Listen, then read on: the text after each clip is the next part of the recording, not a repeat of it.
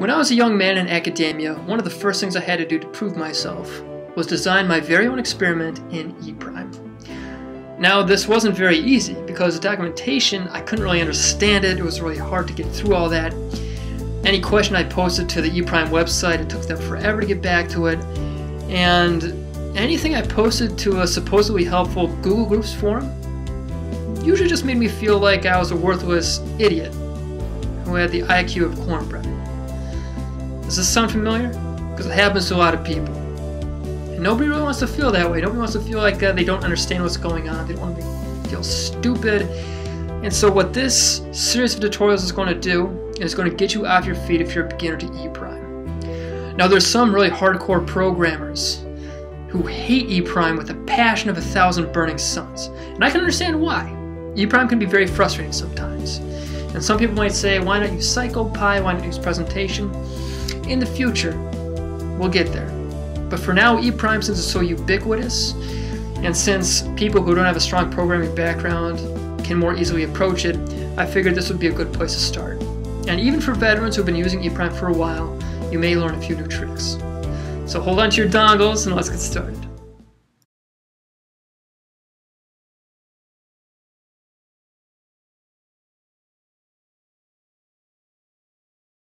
I'm assuming that you know jack squat about E prime. So once you open up E prime, here's what it looks like. And you have no idea what's going on, do you? Just admit it. It's okay. What you'll see first is a list of things called e-objects over here. They're colorful, they have these little animations on them, and they look kind of friendly. We'll get to those later. Over here is what's called a structure view.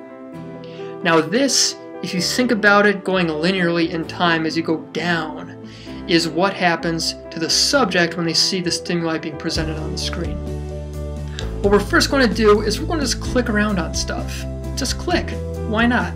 Double click on experiment object. And notice there's a bunch of different stuff in there. There's general, there's notes, there's startup info, devices, what all these things mean. Doesn't matter if you don't understand it right now, just click on stuff, double click on more stuff, and get a sense of how this thing is all set up. What you'll notice is that anything that we click and drag or create over here in the structure view, you can double click on and something will happen, which is cool. This is the first step on the road to understanding. Now, back to these e-objects. What are they? An object, simply stated, is an object, which means it has things like attributes. It has things like methods, which are things it can do. For example, a of Nutella is an object it has the following attributes or qualities. It's brown, it's jar-shaped, and it's nutritious and delicious. Once we're sufficiently evolved as a species, we may create a jar of Nutella that can open itself on its own, which would be very useful for people like me. That would be a method. That's something that the jar of Nutella can do. Alright? So all these objects, they have different attributes. They have things that you can explore. There are qualities about the object that you can call upon or there are methods that you can call upon to make it do stuff. So let's take one of the simplest objects that they have available, which is text display. And the first thing we're going to do with ePrime is click on this and drag it over here. Now text display 1 is the default name for it. If I clicked another one over here, you get text display 2 and so on. Now if I want more informative names, just like you would do in, say, one of the icons on a desktop, in a Windows. You can double click it very softly and then call it something else, like My Text Display. If you don't want something anymore, first delete it, and notice that it's in unreferenced e-objects. Now there's some times where you want something unreferenced, but we're not going to get into it right now. What you can do is just double click it again and delete it. Once you do it, it's gone forever. So sad. Okay, now, this My Text Display. You don't have to be a programmer or have much experience to know that probably whatever we type into this thing is going to be what's displayed once you run the experiment. So I can type in whatever I type in here will be displayed. Whoops. Displayed. Look at me go. Now, just like before when I was saying just double click on stuff, notice there's another really helpful thing to click on, which is this properties pages. This disembodied hand touching a piece of paper or something. First thing you'll notice is this General tab. Okay, so notice these properties, which are attributes about the object, or they contain attributes about the object, has a bunch of different stuff in here. There's things like how do we want to align it? How do we want to align the vertical, the horizontal? Where do we want this text displayed, and how do we want it portrayed? So for example, the fore color is simply the color of the text, and the back color is the color of the slide behind it. Also, do I want the back to be opaque, or do I want it to be transparent? So these are the things you just mess around with. For example, I might want red text on a navy background. You can either click and select something from these options right here, or you could just type it in. You could type in a new option like blue, but I like navy, so let's do that. Frame is also very important. You can do things like make it take up the entire width of the display screen that gets booted up. You can make it slightly off-center by using percentages or you can simply give it things like center or left or right, whatever you have. So all these things should make intuitive sense as you click them. And if you need more options, just click on the drop down menu right here. So once we hit apply, it'll apply all the things that we changed right there. Is that all you need for an experiment? Well, actually, yeah, if this is the most bare bones experiment you want to do. If you want to run this, click on the running purple guy up here yeah, life is weird. And then type in a name for your experiment. So I'll just type, it's one of those days, my experiment, and then hit save. For right now, when it says enter subject number, hit zero, and then session number we'll press one. Okay, we're to continue with all of that. And notice that text is only on for, say, a second, and it's crammed all the way to the left. That's because we mess with stuff on this properties pages, as you saw before, where we had the exposition and the left.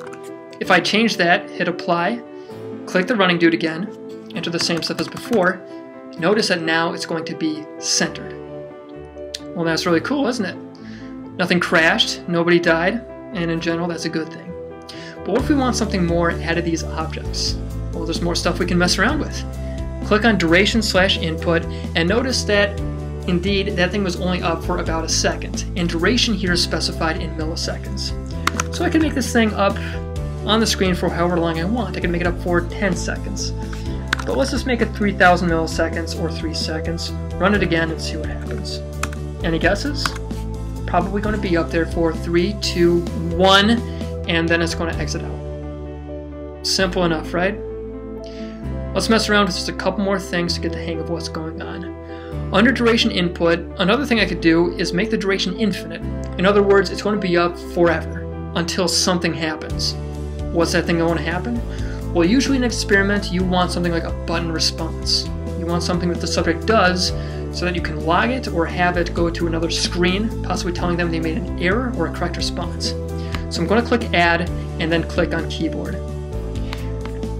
What we have here are different allowable responses. In other words, responses which will get some sort of reaction out of this object. Either it will advance a slide or it will log something as correct or incorrect, or maybe even both. So notice in braces right now, it has any, which means just press any key and you'll get some sort of response to it. You could also just type in random letters, like ASDF and so on, or numbers, and what this means is that all of these numbers are allowable to make this slide continue. And the end action, what those button presses will do, right now the default is terminate, which means exit the slide and go on to the next thing in the structure, whatever that is. So for right now, let's give it something like the spacebar. Pretty common. what you'll need is you'll notice that there are special reserved keywords and spacebar is one of them. So in curly braces, put in all caps space for the spacebar. All we've done now is said hey, leave this object on for as long as possible until the end of time, unless somebody hits the spacebar, and only the spacebar. And if that happens, terminate the slide and move on to the next thing. If there's nothing else after that, exit the experiment.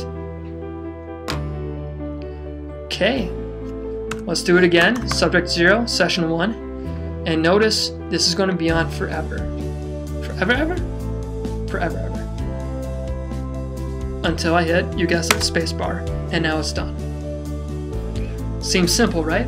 Well, actually, we've covered some very essential things about E prime and objects, which is common to any programming language. You'll come across them if you haven't heard of them already. Objects, like we said, have had attributes, qualities that you can call upon, change, and methods, or things that happen, things that the object actually does. Okay, you find those under the Properties tab. So later, what we'll cover is how to create a more complex experiment and cover more attributes and methods of these objects.